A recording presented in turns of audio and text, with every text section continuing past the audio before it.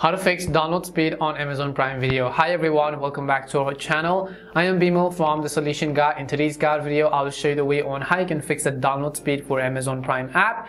But before we get started with this video, if you are new to our channel, do make sure to leave a like and hit that subscribe button. And without any further ado or delay, let's get started with today's video. So if you actually want to just fix if you've been having the download speed issues, then there could be due to multiple reasons.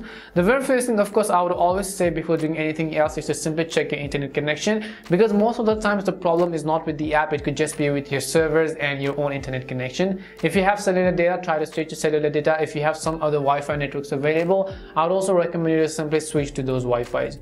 If that doesn't help, however, there is a small setting within the Prime Video application that we can help in order to actually speed up the download speed. So just tap on the profile icon on the top right after you open the app and just tap on the gear icon again. And over here, tap on the option called stream and download. Once you go to stream and download, find the option called download quality. Now, Keep in mind that whenever you actually set the download quality to best or better, it is actually going to take up more time because it is going to be in the highest quality possible. When it is going, going to the highest quality possible, it is going to take the maximum number of space and gigabytes. When you have larger files and gigabytes as a result, in a nutshell, it is going to take up more time in order to download. For example, you may have noticed whenever you set it to best the download quality or the download time takes too much, but in the end, you actually have a very decent quality.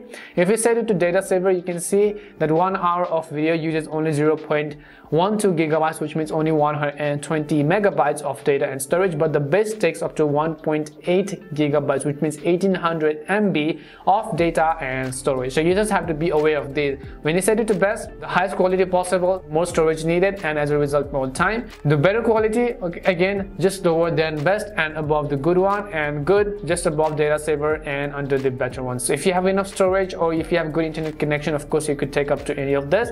But basically you have to understand the differences between this. Hopefully this video answered your question as to what you can do if your download speed is too slow on amazon prime. We hope the video was really helpful and if it did help you make sure to leave a like and subscribe to the channel. If you have any more questions queries or doubts then simply also make sure to leave them down in the comment section. Thank you very much for watching till the end of this tutorial and see you soon in our next video